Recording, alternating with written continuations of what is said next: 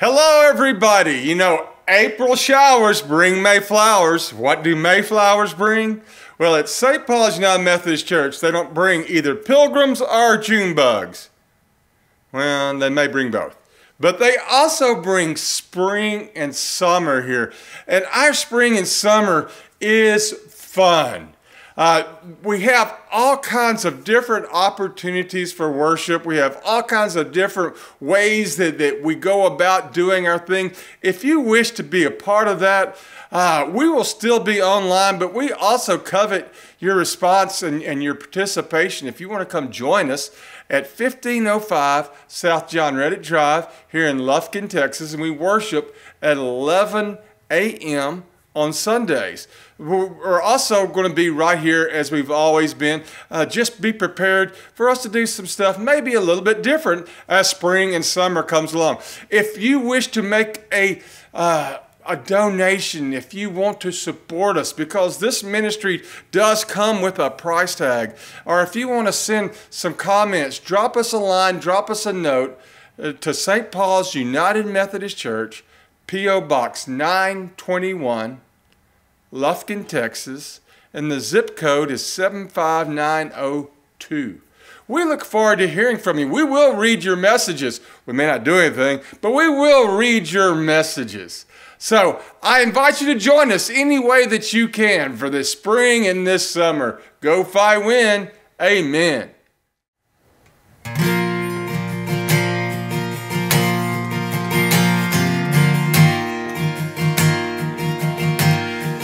Christ is my firm foundation, the rock on which I stand when everything around me is shaken. I've never been more glad that I put my faith in Jesus. Cause he's never let me down He's faithful through generations.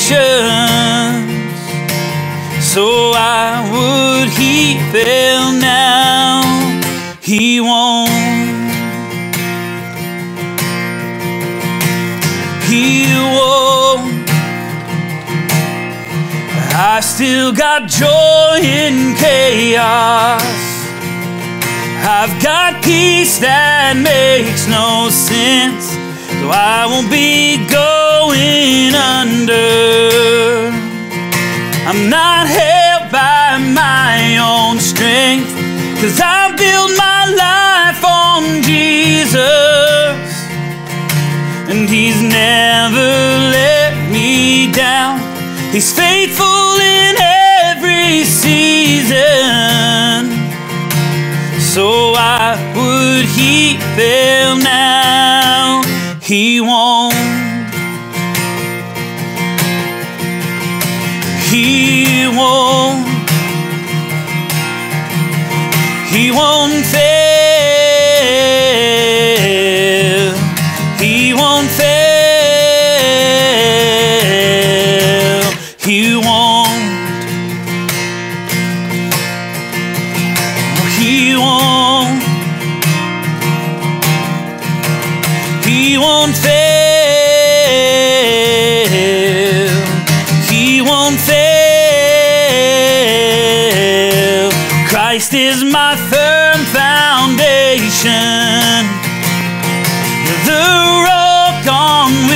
I stand when everything around me is shaken.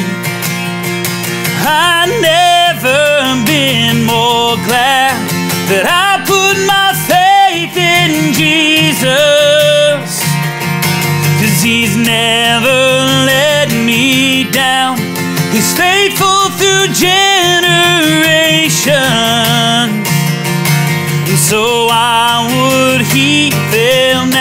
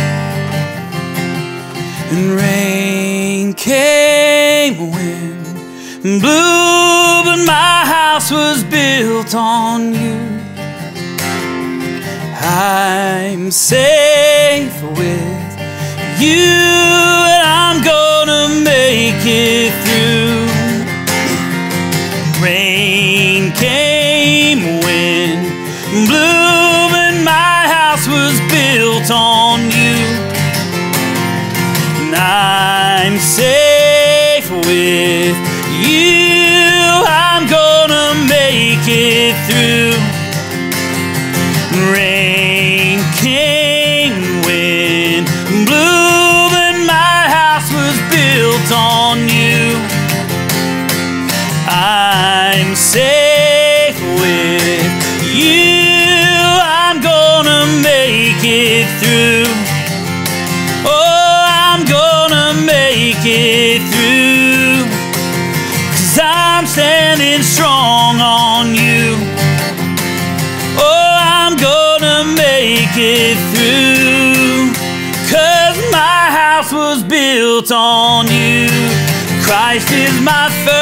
Foundation the rock on which I stand when everything around me is shaken. I never been more glad that I put my faith in Jesus. Cause he's never let me down. He's faithful through generation. So why would he fail now? He won't. He won't.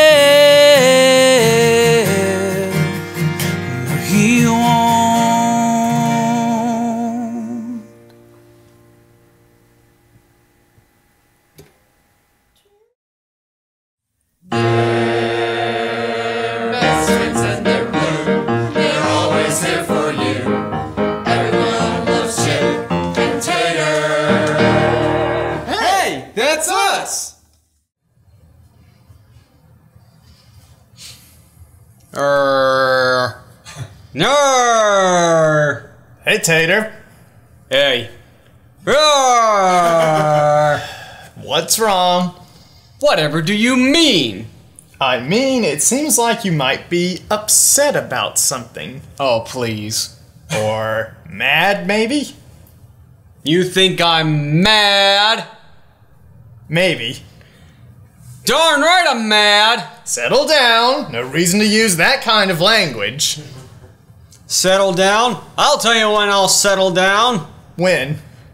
When people stop making me mad, that's when. Err.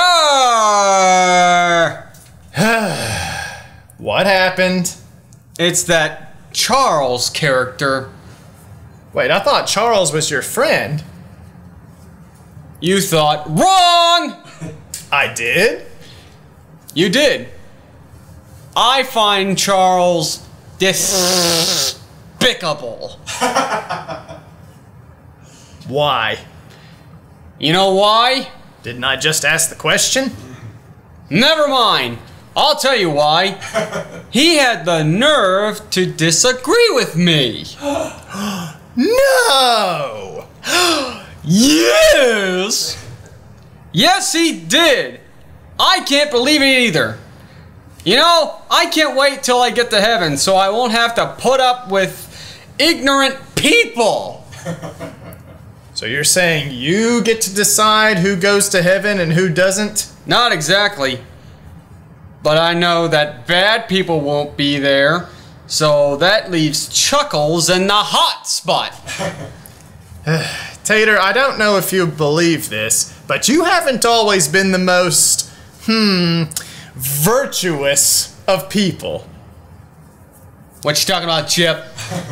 It means you haven't always been the most nice guy. Oh, please. when have I ever been naughty? Name two times.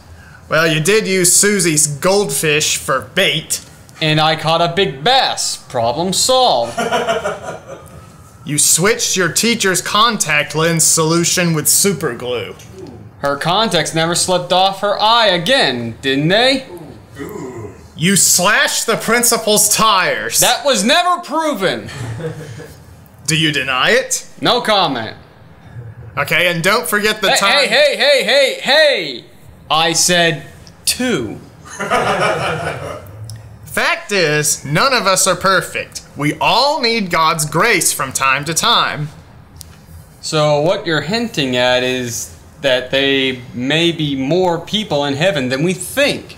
I hope so. I hope it's a big tent where there's lots of people that are welcome, even those who may not have always been nice. A place where even you will be welcome. Yeah. Hey! So let's pray. Everyone, bow your heads and repeat after me. Dear Jesus, Dear Jesus, thank you for your grace. thank you for your grace. Help us forgive others Help us forgive others as you forgive us. as you forgive us. Amen. Amen. Hey, remember the time I put that mouse in that weird kid's lunch? Uh, I don't. When was that? Uh, eh, never mind. By the way, don't open your lunch.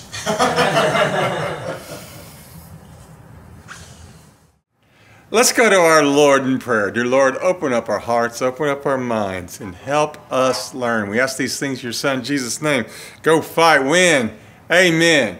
We're still in the season of Easter, and this is when we officially celebrate the rising of the dead uh, from the dead of Jesus. Oh, who am I kidding? We celebrate the rising from the dead of Jesus every day, or we should. You know, we like to say that we are an Easter people, that we're inspired, if not driven, by the faith that Jesus was resurrected and Jesus will come again. And this does require faith. It also requires that we don't live in fear or in disbelief.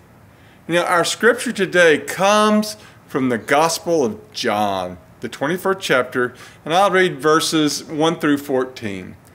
Afterward, Jesus appeared again to his disciples by the Sea of Galilee. It happened this way Simon Peter, Thomas, also known as Didymus, Nathanael from Cana in Galilee, and the sons of Zebedee, and two other disciples were together. I'm going out to fish, Simon Peter told them, and they said, We'll go with you. So they went out and got into the boat. But that night they caught nothing. Early in the morning, Jesus stood uh, on the shore, but the disciples did not realize that it was Jesus.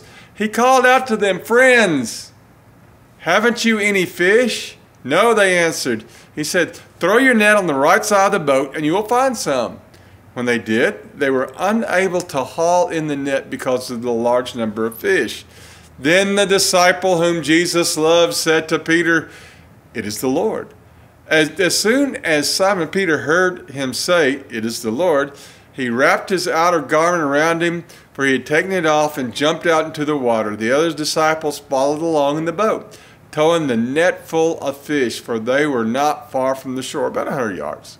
When they landed, they saw a fire of burning coals there with fish on it and some bread. And Jesus said to them, Bring some of the fish that you've just caught. So Simon Peter climbed back into the boat and dragged the net ashore. It was full of large fish, 153. But even with so many, the net was not torn. Jesus said to them, Come, have some breakfast. None of the disciples dared ask him, Who are you? They knew it was the Lord. And Jesus came, took the bread, and gave it to them, and did the same with the fish. Now, this was now the third time that Jesus had appeared to his disciples after he was raised from the dead. And this is the word of God for the people of God. Thanks be to God. You know, this is referred to as Jesus and the miraculous catch.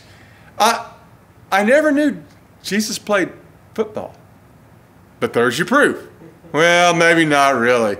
So, but what is the context of today's passage? If it's not football, if it's not basketball or baseball, well, this is at the pretty close to the very end of John's gospel. Jesus has already, of course, been crucified and risen.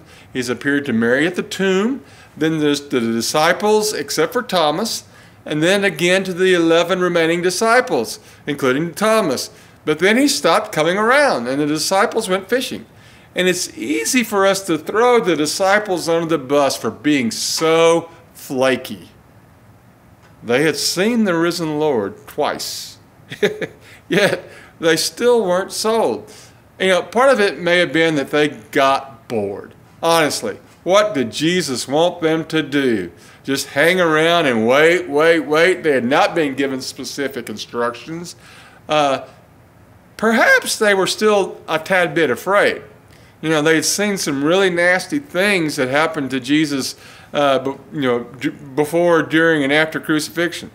Uh, maybe they went home to go fish because they thought Jerusalem was still too hot for them to be hanging around.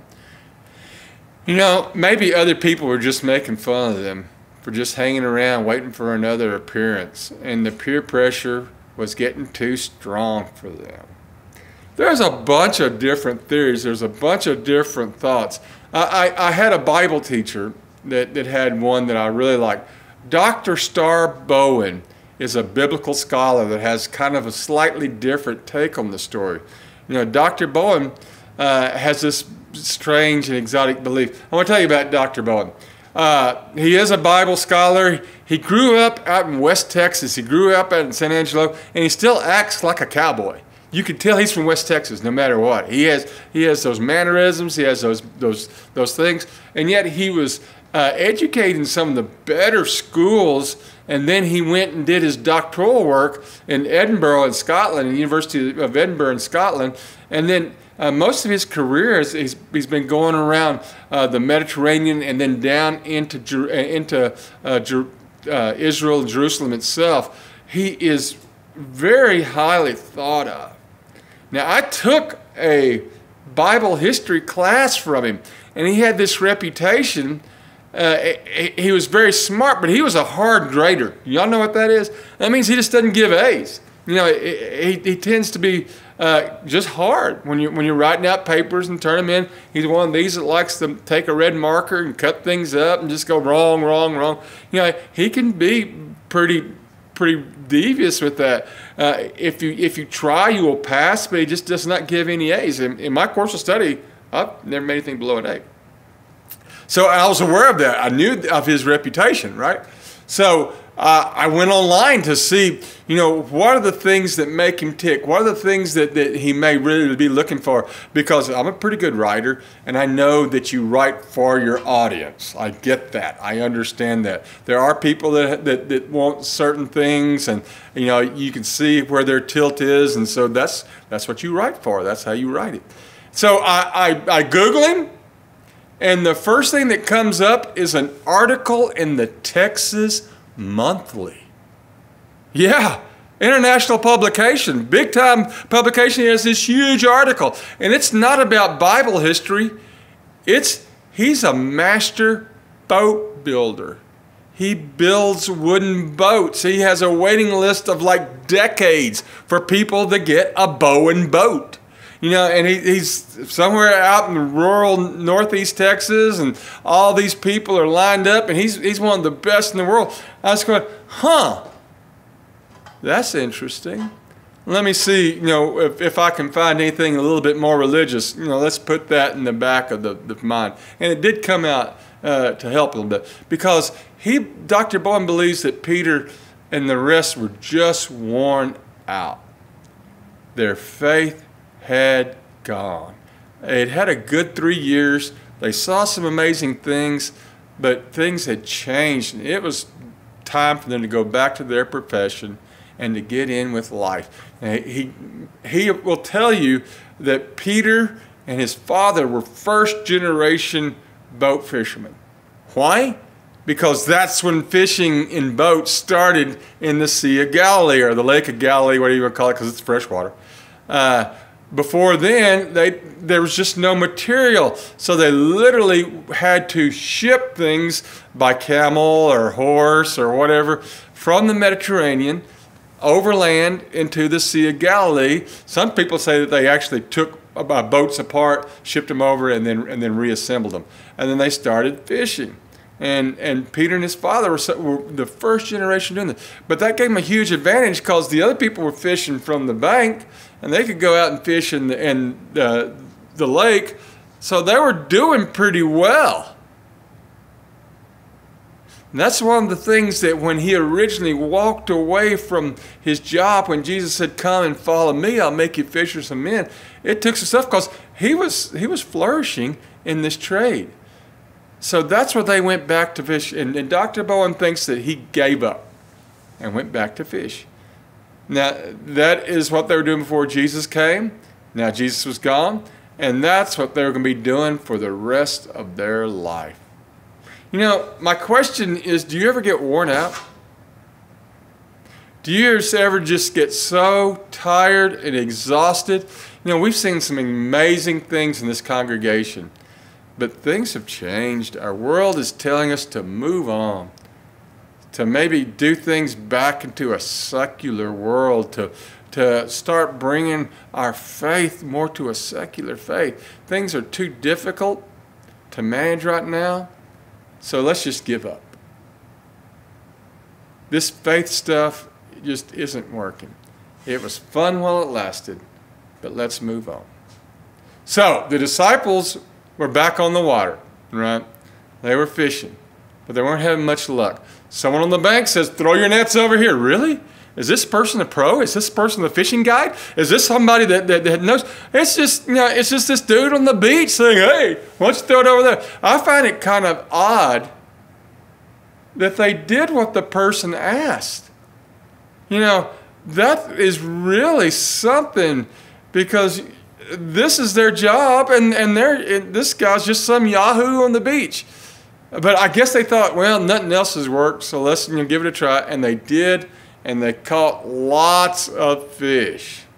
Then John, who's the disciple that Jesus loved, and you know that he's got it on a t-shirt somewhere, right? Disciple Jesus loved. And the little, little arrow pointed straight up. And then you know John recognized Jesus and says, "Hey, I think that's the Lord." And then Peter goes overboard, literally. You know, uh, he he puts clothes on. We're not even discuss that right now. He puts clothes on, jumps overboard, and, and swims to the shore. Uh, and then they had a meal with Jesus, and this is kind of sort of very important. He showed that this showed by him eating and drinking with them that he wasn't a ghost. Now, I'm not some ghoul expert. I'm not an expert on, on, on spirits and such, so don't ask. Just believe me when I tell you this. That he, when he's going through the, the process of eating bread, eating fish, drinking whatever he's drinking, that this shows that he actually was human, that he had been risen from the dead. Pretty exciting. And it got them all fired up, and they were able to do the things that they were needing to do. My question for all of us is what's it going to take to get us excited again? What will it take to get us excited again? What will it take for us to have faith and throw our nets out, even if we hadn't been successful? What will it take for us to really show faith over fear? That's a nice little slogan, but we're doing it all wrong. If we have faith, then we should go out and be doing the things that Jesus asks us to do. We should be feeding the hungry, we should be taking care of the sick, and we should be visiting those that need to be visited. Know, we should not be afraid to do any of that. We should not let peer pressure get in our way. We're in a really wild place right now as a congregation, as a denomination, as a country. I truly believe that Jesus is calling us to throw out our nets, to seek and to show. You know, this is actually one of those times in our lives where we can see obstacles in our world just as the disciples saw the obstacles that were in their world. The context is pretty similar. Maybe, just maybe, we need to go overboard with Jesus. Go fight, win. Amen. That concludes our online worship experience here at St. Paul's United Methodist Church. It's a little different. If you want to uh, worship with us in a live setting, we worship at 11 a.m. on Sunday mornings. Uh, we're located at 1505 South John Redditt Drive here in Lufkin, Texas. That's basically the South Loop and Hank Street. We would love for you to come and worship with us. If you want to send us an offering, uh, send it to P.O. Box 921, Lufkin, Texas 75904. There's nothing too small or too large that we cannot use to uh, show Christ's love to our world. Until next time, go fight win. Amen.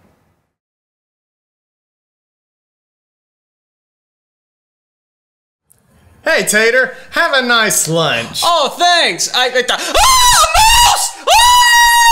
Ah!